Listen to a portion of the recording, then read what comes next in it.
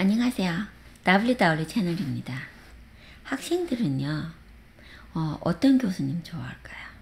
뭐, 교수님들은 뭐 잘 알고 계시겠지만, 그래도요, 음, 제가 오늘 이 방송을 하면서 어떤 생각 들었는가 하면요, 음, 실제로 경험을 해본 사람하고 그냥 생각으로, 예, 예를 들면, 뭐, 교육자 입장에서 뭐 대학에 가서 취직하고 그죠 어, 강사하시든지 교수님들 같은 경우 강의하시잖아요. 그러면 분명히 아이들하고 관계를 잘 유지하려고 애쓰잖아요. 애쓰시고 또 애들 위해서 엄청 많이 노력하시거든요. 하지만 예, 음, 어떨 때 보면요. 교수님들이 엄청나게 밥도 잘 사주시고 애들 위해서 돈도 잘 써요. 그런데 아이들은 그렇다 해서 그런 교수님 다 좋아하는 건 아니거든요.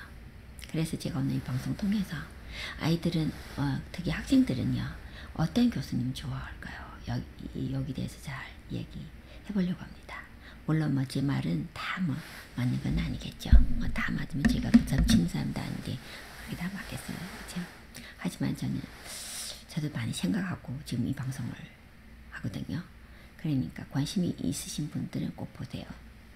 학생들은요, 실력이 있고 유명하다 해서 좋아하는 건 아니에요. 예.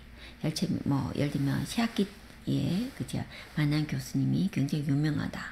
예. 그리고 굉장히 실력이 좋고, 뭐, 아주 명문도 뭐, 대해서 또 뭐, 박사학위 나오고 뭐, 이렇다 해도. 그죠. 처음은 또 눈이 확 좀 뜨겠죠. 예, 좀 교수님에 대해서 굉장히 좀 존경도 하시고 이러겠지만, 나중에 이렇게 수업을 이렇게 다 하고 학기가 거의 끝날 무렵에 가면요. 아, 학생들 스스로 머릿속에 그 점수가 있어요. 교수님들에 대해서, 그죠? 그리고 학생들끼리도 자기네끼리도 얘기하는 것도 있고요. 음. 학생 입장에서는요. 실력이 너무 좋든지 너무 유명하든지 그게 나중에는 별 큰 의미는 없어요. 예. 일단 학생이니까 학생은 대학에 들어가면 이제 학점 따져야 되잖아요. 학점이면 점수와 연관되잖아요. 음. 그러면 당연히 선생님이 교수님이 점수를 좀 잘 주는 교수님을 좋아하는 것이 맞죠? 맞아요. 예. 맞지만 무작정 그냥 어 뭐그 점수 많이 준 교수님도 인기 없어요. 왜? 대학생이잖아요. 고등학생이 아니에요. 다 생각하고 학교 다니는 거예요. 그러면 아이들도 생각하거든요. 진짜 이 교수님 밑에서 내가 뭘 배웠냐, 배울 게 있냐 없냐. 예. 그런 교수님 계시죠. 평소에 엄청 엄격해요. 공부시키기 위해서. 평소는 점수를 많이 주고 가지 않아요. 하지만 이렇게 그 뭐 시험을 보면요. 그 학생의 그, 그 뭐죠. 개성이라 할까요? 다 존중해주고, 예. 그런 교수님을 좋아해요. 그게 뭔가 하면 개성을 다 존중해주고 그리고 그 교수님이 점수를 후하게 주는 거예요. 예. 그러면 이 아이가 그걸 딱 보고 너무 미안한 감, 감이 드는 거예요.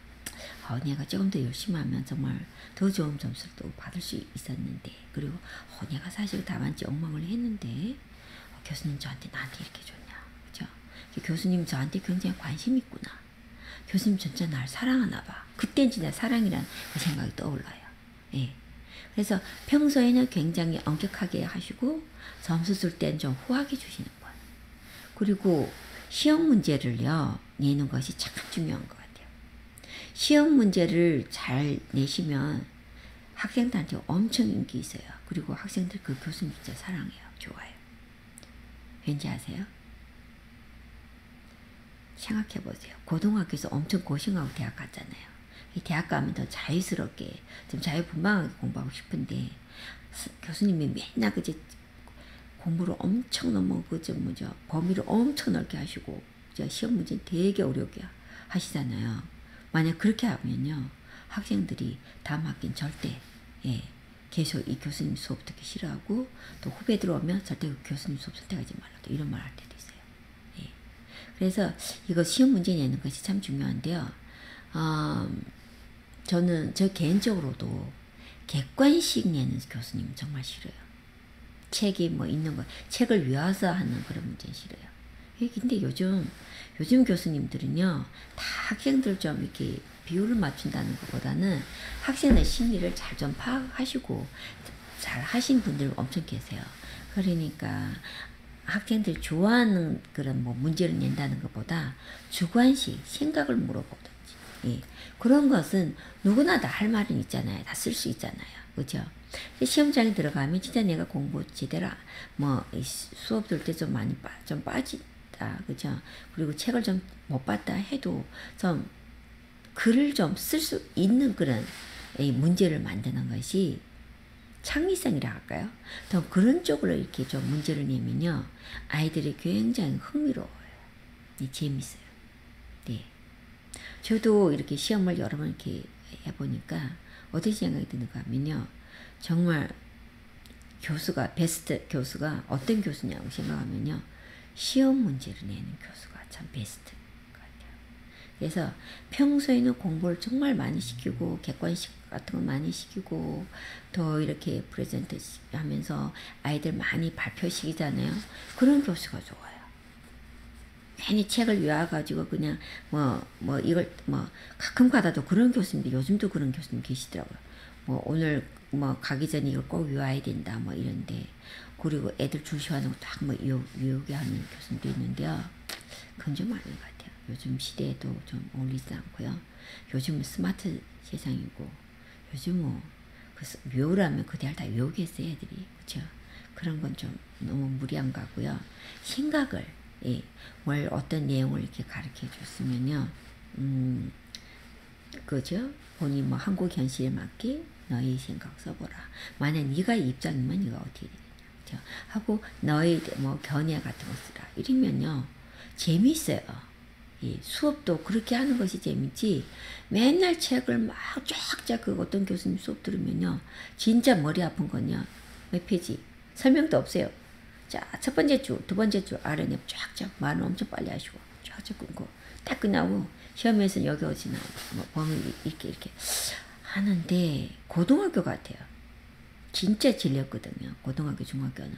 정말 앞으로만 대한민국 그런 교육 방식도 정말 변해야 될 것 같아요 그게 변하지 않으면요, 어, 학생들이 공부하는 그 뭐죠, 그 열정이 떨어져요. 예. 그리고 뭐 민족성이라 할까요? 좀 국민성을 이렇게 봤을 때도 좀 영향을 미치는 것 같아요. 대학교 그 입시 시험 공부에 지친 학생들이 얼마나 많아요. 그리고 또 그걸 배우면서 쓰면서 나중에 그 대학 가면 이게 아무 소용이 없다 이렇게 생각하는 학생들이 대반수거든요. 그렇기 때문에 그런 상황에서 대학을 왔는데 또 그런 식으로 공부시키면 정말로 대학을 탈출하고 싶어요. 그냥 퇴학하고 집에 가서 하고 싶은 거 그저 하는 것이 더 낫지 않을까 이런 생각이 들 때가 많거든요. 그래서 아마 진짜 학생들이 좋아하는 교수는요. 정말로 좀 굉장히 자유를 주면서 자유 좀 생각하는 그런 여지를 주면서 너무 교수님이 막 거품 물고 쫙쫙 그냥 그냥 고생스럽게 그 뭐지 프레젠트 막 내용 쫙쫙 해서 막뭐 이렇게 막 해 주신 교수님도 계신데 그건 교수님 본인도 엄청 힘드실 거예요. 예. 학생 입장에서 그게 필요하지 않아요. 그리고 지식이라는 것은 꼭 그런 식으로 그죠 이렇게 전달하는 것이 효과적인 것 같지 않아요. 생각을 하면서 즐기면서 하는 그런 방법을 택해서 시험도 좀 그렇게 내시는 게 좋을 것 같아요. 전 즐기면서 시험도 좀 즐기는 그런 시험이 좋아요. 음. 너무 객관식 객관식 하지 마시고 주관식을 하면서 그 안에 슬쩍슬쩍 그제 객관식 이렇게 그죠 넣어가지고 학생들 스스로 좀 책을 보게 만들고 학생이 스스로 그죠 생각하게 만드는 그런 시험을 내서요 꼭뭐 그뭐 뭐 달달 외우지 않다 해도 시험장에 들어가가지고 충분히 자기 그죠 써야 될 내용은 다 쓸 수 있게 그 질문에 대해서 좀 답할 수 있게 길을 좀 열어줬으면 좋겠어요. 예. 아, 책을 아, 이 문제 안 봤니? 그날 빠졌니? 이 시험 아, 이 문제 나왔다. 나 망했다. 이렇게 하지 마시고 예. 어떻게 하든지 일단 우리가 뭐 집에 만약 아이들이 있으면 달려가지고 공부시키잖아요. 그런 것처럼 좀 어떻게 좀 특히 좀 아이들 좀 창의성이든지 열정을 좀 이렇게 발휘해서 아이들이 좀 스스로 좀 공부하기 흥미롭게 예. 일단 시험이 딱 끝나면요. 그 교과서를 버리고 싶어요. 그렇게 하지 마시고 진짜 좋은 교수님들 같은 경우는 잘 강의 잘 하시고 학생들 좀 인기 좋은 교수님 같은 경우는요. 그 교재를 버리고 싶지 않아요. 그냥 간직하고 집에다가 이렇게 놔두고 나중에 그 책을 다시 보고 싶어요. 예. 그래서 그, 그 과목에 대해서 정말 그 학생들이 관심을 갖게 만들고 그 과목에 대해서 스스로 더 연구하게 만드는 그런 교수님 최고인 것 같아요. 그래서 교수, 학생들 입장에서는 그런 교수가 그리고요, 또 어떤 교수가 좋은가 하면요. 뭐, 어떤 교수가 좋을까요? 하면 또 어떤 교수가 나쁠까요? 뭐 이런 상대방 질문이 꼭 있을 거거든요. 그러면 그 어떤 교수들은 그러잖아요. 본인이 스스로 아주 은근슬쩍 그죠. 본인 자랑을 꾸준히 해요. 가만 보면 수업 시간마다 자기 자랑한 음, 그런 교수님이 계세요. 가족 자랑 하다가 나중에는 또 자기 조카 자랑 그리고 또 자기 뭐 자녀분 자랑 뭐 그죠? 이런 가족 이야기 하면요, 굉장히 흥미로울 때도 있어요. 그러면 학생들하고 좀 이렇게 그 다가가는 그, 음, 그런 느낌도 있는데요. 너무 자랑만 이렇게 해놓으면 아이들은 학생 입장에서는 듣기 싫어요, 사실. 왜냐하면 우리는 학비 내고 수업을 듣잖아요. 수업 들라고 하는데 그 사람 개인 인생사에는 예를 들면 그 교수님한테 특별한 관심이 없으면요. 개인 인생사 관심이 없어요. 그 집 조카, 그 집 아이, 그죠? 나중에는 학생이 스스로 좀 교수님한테 좀 굉장히 흥미롭게 생각하면 물어봐요.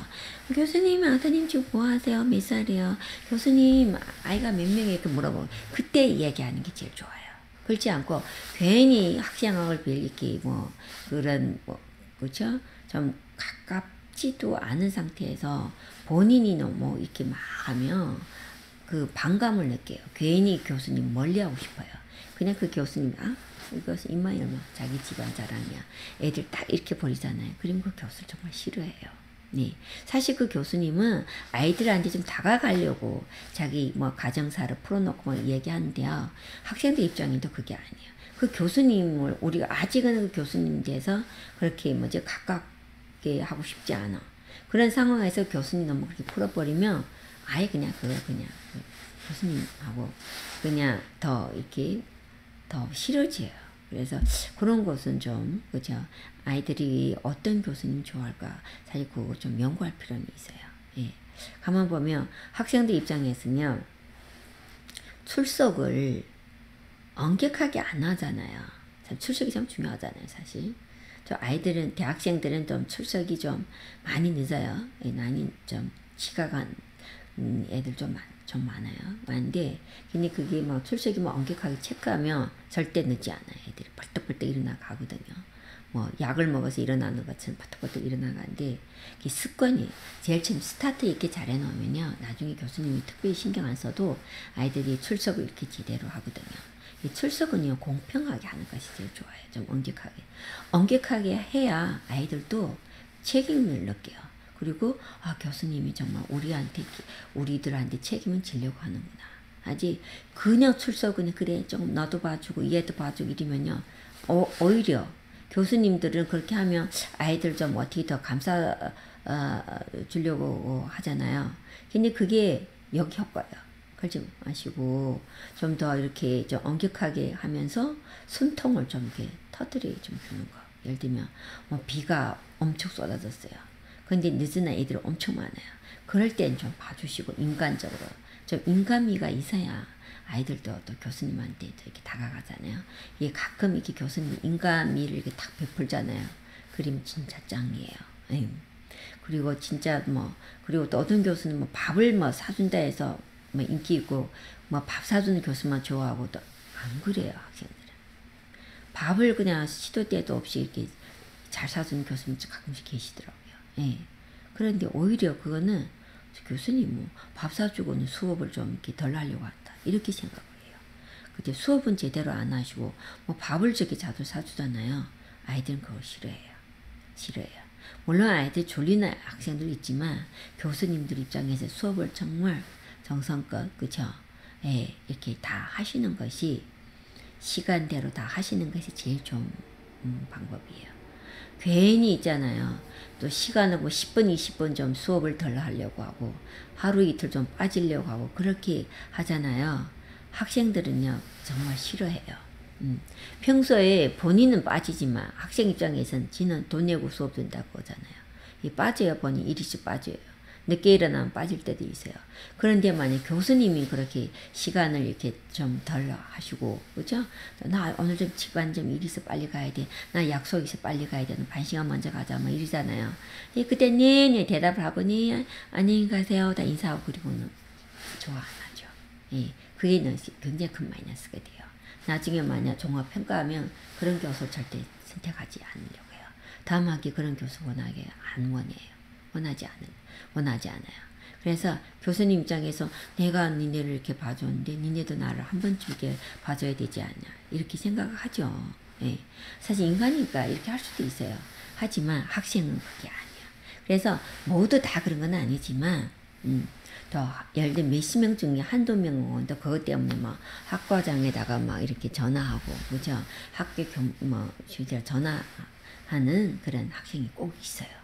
또 거기에 대해서 아이들이 또뭐뭐 신고한다 할까요? 또 뭐 전화해서 굉장히 또 이렇게 음, 교수님을 굉장히 불편하게 할 때도 있거든요. 그렇기 때문에 교수님 입장에서는 확실하게 수업할 때는 확실하게 해주시고 그러면 교수님도 부담이 없잖아요. 예. 나중에 또 다시 이걸 뭐 그것도 보충하기도 귀찮고 그러잖아요. 그렇게 하시는 게 제일 좋고요. 정말로 일이 있고 이럴 때는 딱 그냥 이렇게 아주 공평하게 이렇게 정하고 예, 내가 이만큼 수업을 못 해주면 이렇게 다 사장해가지고 다음 이게 꼭 이렇게 좀 이렇게 하는 이렇게 그 수업을 이렇게 보충을 해줘야 돼요. 그 보충을 한두 번 이렇게 빠지잖아요. 아이들은 그걸 다 기억하고 있어요. 예. 본인 수업을 이렇게 빠지면서 교수님이 이렇게 수업을 좀 빠지잖아요. 절대 그거는 너그럽게 봐주지 않거든요. 음. 그때 해서 교수님 밥 한 끼 사주고 뭐 두 끼 사주고 이러잖아요. 해서 아이들은 밥은 기억이 안 남아요. 단지 교수님이 수업을 빠진 건 그건 기억하거든요. 그렇기 때문에 그런 아이들은 그런 교수님을 좋아 안 한다는 걸 꼭 기억하셔야 되고요. 그리고 아이들도 어떤 교수님 좋아하는가 하면요. 어, 취업에 대해서 굉장히 정보도 많이 제공하고 예를 들면 어, 니네 이런 전공하는 애들은 뭐 어떤 뭐 자격증을 따야 된다. 근데 아이들한테는 이런 정보가 참 신선하고 굉장히 아이들은 그러고 기대해요.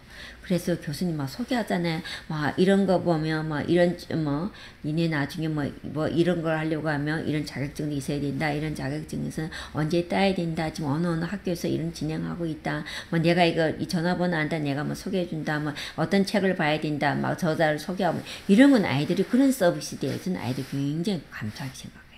예. 그리고 요즘은 다 대학 가는 애들 뭐지 취업을 잘 하려고 하는 거잖아요. 취업이 참 중요하잖아요. 그러다 보니까 그런 어, 소식을 그, 그런 정보를 이렇게 준 그 교수님은 정말 인기 좋아요. 그리고 어떤 교수님들은 정말 감동을 많이 주는 교수님이 계세요. 아이들 카톡한테다 쫙 그런 정보를 막다 보내줘요. 예. 물론 그 정보가 다 필요하진 않겠지만 그 학생들은 그거 보면서 감동을 해요. 아 교수님 정말 우리를 위해서 이렇게 신경을 써주시네. 정말 교수님은 우리 반 애들 사랑한다. 정말 이러면서 아이들이 정이 가는 거죠. 정이 붙는 거죠. 예. 그러면서도 아이들은 어, 그 교수님한테 굉장히 가깝게 지내려고 하잖아요. 예. 그런 것은 참 좋아요. 음. 그리고 교수님들은 너무 본인 그 사생활하고 그냥 아이들하고 너무 이렇게 풀어놓는 것보다 일정한 거리 두고 학생들하고 이렇게 작동하는 건 좋은데 너무 사적으로 그죠? 너뭐 나 겸식 왔다가 뭐 뭐 뭐 뭐 이렇게 뭐 달러 만나고 이러면요 좋아 절대 좋아 안 해요. 예를 들면 그 반에 예를 들면 몇명 몇 명 그죠? 누구 누구 달러 만나다 애들 딱 눈치 하잖아요. 너 어제 교수님 나하고 밥 먹었어? 아마 술 마셨어? 읽잖아요. 안 어, 같이 밥, 뭐, 같이 밥을 안 먹고 술을 안 마시는 애들도 많잖아요, 사실 항상. 교수님 해서 뭐, 진짜 부자 교수님인데도 맨날 몇십 명 될때 그냥 밥을 사줄 수는 없잖아요. 근데 그런 것이 자주 이렇게 이루어지면 애들이 그냥 왜 교수님은 나를 싫어하지? 쟤네, 쟤 애들만 좋아하지? 미워해요. 교수님을 미워해요. 예. 그래서 그렇게 하면 아이들은 또 그러잖아. 요즘 카톡이라든지 뭐 아직 메신저가 너무 발달돼 가지고 아나 교수님한테 술 마셔서 밥 먹어서 한번 찍어 가지고 막 이렇게 뭐 애들 그룹 그 카톡에 옮기, 올리잖아요. 예, 그러면 물론 뭐 부러워하는 애들도 있겠지만 굉장히 그거 안 좋게 보는 애들 더 많아요. 안 좋게 뭐 싫어하는 애들 더 많아요. 그렇기 때문에 뭐 모이면 다 같이 모이는 게 좋고 물론 뭐 날마다 다 같이 모일 수는 없잖아요. 될 수 있는 대로 좀 대다수 애들 많은 애들 더 뭐죠? 음 다반수 애들 같이 끌고 가는 그런 모임을 하는 것이 이 학생들한테 인기가 있지. 아, 극소수만 그냥 예, 뭐 교수님이 특별히 뭐 찍어가지고 뭐 좋아하는 학생을 이렇게 그죠 뭐 물론 그 애는 뭐 잘하겠죠. 뭐 그렇게 해서 그 애들만 맨날 같이 만나고 술 마시고 이러면 또 문제가 생겨 그립에 뒷소리 더 많으니까요 괜히 교수님은 좋은 일 하시고 그렇게 욕먹지 마시고 좀 이렇게 공평성을 항상 잊지 말아야 돼요. 네. 그리고 교수님들은 그 가끔가다 그런 교수님 계시잖아요. 너무 솔직해서 내놓고 그냥 이 아이들한테 농담을 섞어서 하는데 특히 여, 여학생들한테 좀 약간 비화한다 할까 잠깐 약간 비꼰다 할까 좀 그런 말이잖아 야 너는 왜 머리가 항상 그렇니? 하고 야 너는 그것밖에 없니? 뭐 이런 말 하잖아요. 아 그거는 교수님이 대해서 진짜 교수님 진짜 그거는 학생들한테 그것도 큰 실례예요. 예. 그러면 그 상처받는 얘는 교수님을 정말 죽을 때까지 그냥 기억할 것 물론 교수님은 그 여러 사람들 그냥 재밌게 하려고 웃기려고 하지만 사실 다른 애들은 다 웃게 우, 우, 즐거워하겠죠 웃으면서 이렇게 하는데 그 당사자는 안 그리고 당사자는 엄청 그것 때문에 스트레스 받고 충격이 굉장히 크시거든요. 그리고 아 크거든요. 그리고 그 학생들 입장에서는 자존심도 엄청 강해요. 그 나이 또래. 음. 또 예를 들면 반에도 남학생들, 여학생들 있잖아요. 남학생도 마찬가지예요. 예. 뭐 그래가지고 어, 예, 또 문제가 많이 생기기 때문에 또 그런 교수는 어떤 교수님들은 말투가 습관적으로 약간 좀 아이들을 사실 이뻐하면서도 비꼬는 그런 스타일이 있어요. 그래 뭐 말을 할 때 하여튼 그 느낌이요. 학생 입장에서 본인을 무시한다고 생각해요. 음. 그런 교수님 특히 말투부터요. 시작 그렇게 하면 아이들은 학생들은 그런 교수님을 좋아하지는 않죠. 음. 왜냐 본인이 그냥 그 교수님 때문에 그냥 그죠 무한을 당하든지 굉장히 좀 무시당한다는 생각이 들잖아요. 그거는 학생하고 교수님 입장이 아니래도 뭐 누구든지 다 똑같은 것 같아요. 사회에 나갔다 해도 그런 일을 당했으면 다 그런 생각할 것 같아요. 예, 이렇게 존중하면서 교수님 입장에서도 학생을 존중을 하잖아요. 그만큼 학생들도 교수님을 존중해요. 음, 교수님이 막 말을 그렇게 막 그렇게 그저 가리지 않고 그렇게 하면 학생들도 그 교수님 아예 무시해 버려요. 예, 그냥 애들도 그냥 아 이번 학기 같이 공부하니까 그냥 그렇지. 내가 뭐 당신 수업 들으니까 뭐 나도 뭐 그저 내가 뭐 선생한테는 뭐 이렇게 뭐 해야 점수가 그래도 뭐 잘 나오겠지. 그냥 이런 마음으로 그냥 하잖아요. 하면 그리면 또별 재미없죠, 사실 교수님들한테. 그래서 아이들이 그 좋아하는 교수님들은 다 예, 이유가 있어요. 예, 괜히 이유 없이 이 아이들이 교수를 미워하고 싫어하진 않아요. 음, 몰라면 가끔 가다 좀 성격이 이상한 학생들도 있잖아요. 또 입장 바꿔서 교수님들도 좀 성격이 좀 이상하고 굉장히 또 독특하면서 굉장히 또 개성이 너무 강해가지고 일반 사람들하고 융합하기 힘든 그런 교수님들 계시잖아요. 그런 교수님들은 또 학생들도요 또 알아요. 그런 것도 금방 또 보면 또 알기 때문에 학생들 입장에서도 또 그런 분을 굉장히 또 예, 굉장히 멀리 하려고 하죠. 예, 싫어하죠, 사실. 예. 그래서 아이들한테 또 뭐 학생들한테 이렇게 다가가는 것도 또 한 가지 방법이고 또 교수님 입장에서는 저 강의하는 동안에 아이들하고 좀 이렇게 잘 어울리고 잘 이렇게 지내는 것이 서로 좋잖아요. 교수님도 편안하고 예. 또 아이들도 이게 뭐 마음만 맞으면요 교수님 뭐 예를 들면 바쁘시고 뭐 연수 갔다 오시고 어디 뭐 국제 세미나 갔다 오시면 뭐 하루 이틀 빠져도 아이들도 다 오케이요 그것도 다 기분이 좋으면 다 되는데 거기 또 약간 좀 이렇게 문제가 또 있고 이러면 그 학생 중에서 몇 명은 꼭 그걸 또 따져가지고 학교 학과 사무실에 가서 또 뭐라 문제를 또 만들거든요. 그렇기 때문에 공평하게 쳐서 하시고 항상 좀 교수님 입장에서 손해 좀 본다 생각하시고 본인 좀 본인 스스로 강의 시간 그쵸 그좀 칼춤 좀 지켜주시든지 본인 본인 강의요. 그리고 아이들한테 좀 너그럽게 좀 해주시고 그런 것이 본인한테 그게 나중에는 다 플러스 되지 마이너스 되지는 않거든요. 그리고 아이들한테는 점수 같은 건 좀 너그럽게 해주신 분이 나중에는 사실 내놓고 말하면요. 대학 다닐 때그 점수는 학생들 입장에서 그 점수가 굉장히 중요하거든요. 졸업해서 보면 별거 아니잖아요. 인생의 그 대학 점수가 뭐 인생을 결정하지도 않잖아요. 그죠? 하지만 그 나이 또래 그 시기는 그 점수가 엄청 커요. 그 점수가 약간 잘 안 나오면 그 애들한테 엄청 그 스트레스 잠도 안 자고 뒤에서 계속 그 교수님 씹어요. 어. 본인 공부 못했다는 생각은 별로 안 해요. 본인이 아르바이트 하면서 수업을 제대로 안 빠져서 이렇게 됐다는 생각은 별로 안 하고 교수님한테 그 교수님 딱 싶거든요. 근데 정말로 또 아르바이트하고 공부도 제대로 안 한 애가 점수도 너무 많이 주면 그것도 문제가 되잖아요. 다른 공부 열심히 하는 애들 그거 알면 다른 애도 가만히 있잖아요. 그래서 공평하게 해주죠. 예. 너그럽게 해주시지만 공평하게 해주시고 정말 열심히 하는 애들은 점수 잘 주시고 그죠?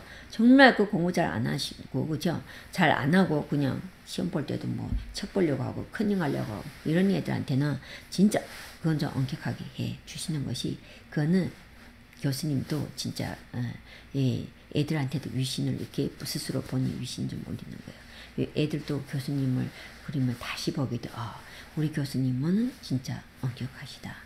진짜 공평하시다. 이런 것을 보여줄 필요가 있어요. 그리고 교수님을 위려, 그죠? 좀 그런, 음, 위, 위엄이라고 할까요? 좀 이렇게 애들한테 보여줄 필요가 있어요.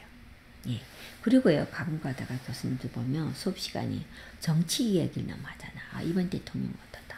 또 아니면 또 뭐, 지금 정치 야당이 뭐지. 이런 얘기 하잖아요. 어때요? 이게 만약 무슨 정치 무슨 과라면 그 과목하고 좀 연관이 된다면 필요하지만 연관성이 없는 그런 얘기는요 귀에 안 들어와요. 그리고 아이들은 그렇게 생각해요. 나는 돈 내고 이 수업을 듣는데 나는 이 수업 듣기 위해서 저 먼 데서 여기까지 왔는데 이때 학교까지 왔는데 뭐 10분 20분 동안 그렇죠? 뭐 다른 얘기 하잖아요. 수업하고 전혀 상관이 없는 얘기 하잖아요. 아이들은 그거 굉장히 화내요. 네. 앞에서는 어, 좋아하는 것 같죠? 웃고 박수 다 칠 수는 있지만 아니에요. 마음은 그게 아니에요. 그래서 항상 학생들 마음이라는 거는 어, 떤 교수님 좋아하는가 하면 한계돼도 더 알려 예, 주시려고 애쓰는 그런 교수님을 마음으로 감동받고 마음속으로 좋아해요. 예.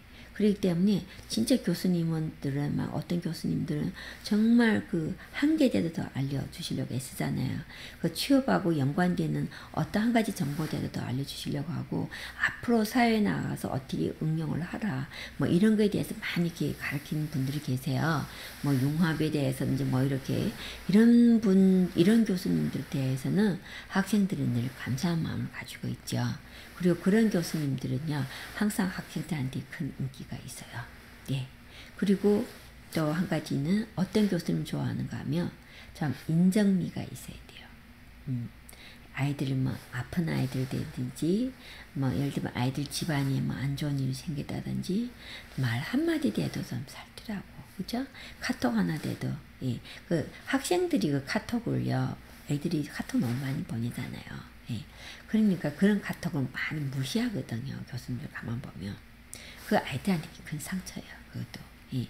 그 아이들이 많이 말이 대학생이지 다 꼬마예요. 마음은 다 꼬마가 들어있어요. 그래서 예를 들면 교수님들 카톡 뭐몇 글자 되다 하나 적어서 아이들한테 카톡 하나 보내주잖아요. 그럼 아이들은 굉장히 감동받기 좋아해요. 예. 그런데 애들 카톡 온 거는 어 그냥 다 알았지 알았지 하고 그냥 이렇게 막 넘어가실 때도 있잖아요. 아이들이 개별적으로 교수님한테 카톡 보낼 때는요. 답을 원하는 거예요. 답을 원하기 때문에 보내드렸거든요. 그렇기 때문에 진짜 교수님 너무 힘드시고 바쁘시잖아요. 그래도 그래도 좀 그죠 하루 이틀 후에도 그걸 이렇게 좀 와서 답을 좀 해주시면 아이들한테는 그게 굉장히 뭐가 뭐랄까요? 아, 교수님이 나를 좀 좋아하나 봐. 이 그런 마음이 있어요. 음. 그래서 아이들은요, 또 이성 교수님한테는 좀 관대해요. 너그러워요.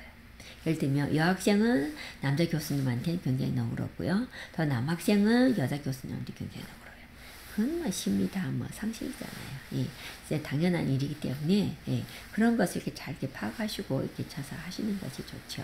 예, 그래서 좀 친근감을 뭐 억지로 뭐술 사주고 밥 사주고 뭐 친하려고 애쓰는 것보다 그냥 일상 그 수업 시간에 그죠 아이들한테 좀 더 배려하는 마음을 더 보여주시고 예, 또 너무 그 뭐죠 너무 엄격하게 막 수업 시간에 뭐 졸리면 이러면 빠바와 막 이렇게 막 하잖아요. 사실 수업 시간이에요. 두 가지요. 하나는 교수님 수업이 정말 재미없으면 졸려요. 하나는 아르바이트 하든지 뭐 밤에 잠을 못 자고 와가지고 졸려요. 졸리는 건 어쩔 수 없어요. 진짜 교수님 거품 물고 강의를 멋지게 하신다 해도 잠이 오는 건 어쩔 수 없어요. 그걸 욕을, 욕을 해도요, 답이 안 나오거든요. 그렇기 때문에 차라리 그런 것은 눈을 감아 주시든지 아니면 수업이 끝나면 그죠? 살짝 이렇게 좀 이, 터덕거리면서 이야기해 주시는 것이 훨씬 더 효과적이에요. 예. 그리고 가끔 이렇게 막 이렇게 막 이렇게 막 애들이 막 좀 이제 태도 좀 불량스럽죠. 좀 이렇게 좀 엎드려 막 자고 이런 애들이 있어요. 어때요? 그 많은 학생들 앞에서 그 학생 막 욕하잖아요. 막 뭐라 뭐 얘기하잖아요. 그럼 그 애는 또 그게 나름대로 또 자존심이 있단 말이에요. 남학생, 여학생들 앞에서 그렇게 본인 망신당했잖아요. 그러면 그 뭐죠 교수님에 대해서 화는 다 교수님한테 가는 거예요. 교수님은 그 아이를 위해서 너네 이 수업을 들어 나 시험 볼 때 이게 나와 막 이래도 애들이 졸려요. 그거는 잠이 오는 건 어쩔 수 없어요. 이 고등학생도 아니기 때문에 본인도 어쩔 수 없어서 자는 거예요. 본인도 미안한다는 걸 모를 수는 없잖아요. 그래서 이런 거는 공개적 공식적으로 공식을 딱 공식으로 그죠 정식으로 딱 한번 공지하고 예, 수업이 졸리는 뭐 뭐 뭐 하고 개별적으로 했을 때는 그래도 약간 좀 인간미 있게 좀 이렇게 타덕거리면서 이렇게 하는 것이 앞으로 그 아이가 다시 깨닫고 뉘우치고 교수님 수업이 더 이렇게 정성을 들여서 들을 수 있다는 확률이 더 높아요. 예. 그래서 예를 들면 아이들한테 점수 예를 들면 불합격 주잖아요. 특별한 상황이 아니면 뭐 예를 들면 아이가 뭐 열심히 공부했는데 불합격이 나오잖아요. 그런 거는 좀 어떻게 좀 예, 예를 들면 머리도 나쁜 학생들 있잖아요. 머리 다 좋을 수는 없잖아요. 그 학생들 좀 능력에 맞게 고의적인 게 아니고 정말 열심히 했는데 그 속도밖에 안 된다면 다음 학기 위해서도 이 아이를 그죠 불합격하면 어떻게 해요 그죠 길을 좀 이렇게 열어주면서 같이 끌고 올라가는 것이 제일 좋죠. 예. 그 아이들은 좀 그런 개인 개인적인 그런 일로 통해서도 교수님 인간미를 이렇게 애들이 재발견할 수 있어요. 그러면서 교수님을 더 좋아하게 돼요. 자, 뭐 그쵸 제 말이 다 맞는 건 아니겠지만 좀 이러한 점을 좀 참고하시는 것이 그죠 교육자 입장에서도 도움이 되겠죠. 예. 그리고 교수님이 실력이 아만 좋아도요 전달하는 방식이 좋아야 돼요. 그리고 학생들한테 쉽게 그죠? 재밌게 이렇게 받아들여야 교수님 강의를 인정하지 교수님은 그냥 학술적으로 나가잖아요.